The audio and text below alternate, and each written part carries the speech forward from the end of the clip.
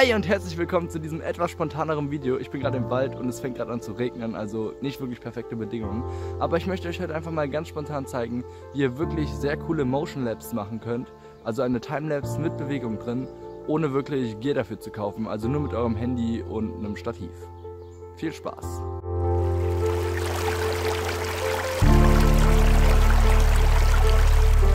Das sind gerade nicht wirklich perfekte Bedingungen, um Motion Labs zu machen. Wir haben eine graue Wolkensuppe am Himmel hängen und es fängt an zu regnen. Deswegen glaube ich nicht, dass die Ergebnisse so cool werden. Ich versuche trotzdem mein Bestes zu geben. Und ja, ich suche jetzt gerade mal einen kleinen Spot, wo wir das ganz cool machen können. Und vielleicht hört ihr gerade schon den Regen. Ich hoffe, der Ton ist in Ordnung. Es ist gerade ein bisschen windig und ich suche jetzt eine coole Location. Bis gleich.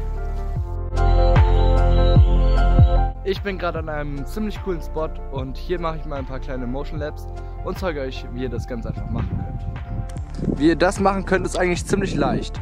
Ihr geht in eurem Handy, wenn ihr das habt, in den Hyperlapse-Modus und dann, ich hasse es, scharf zu stellen, und dann macht ihr einfach eine Hyperlapse und während die läuft, verstellt ihr hier das Drehrad ein bisschen, damit ihr hier, während die Hyperlapse läuft, immer so langsam wie möglich das Stativ in eine Richtung drehen könnt.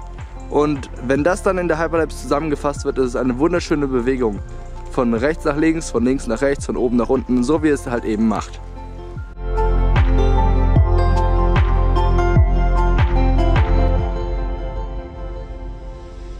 Danke fürs Zusehen und bis zum nächsten Mal. Ciao.